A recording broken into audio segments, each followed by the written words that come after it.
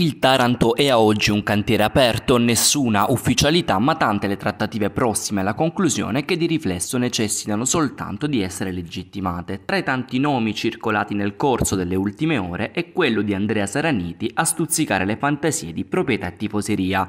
Classe 88, la prima punta nativa di Palermo, è ancora legata da un altro anno di contratto con il club rosanero. Il Taranto auspica in una rescissione tra le parti per poter poi tentare l'affondo decisivo successivo quando l'atleta, già in Puglia con le casacche di Lecce e Francavilla, avrà lo status di svincolato. Trattativa comunque difficile ma non impossibile.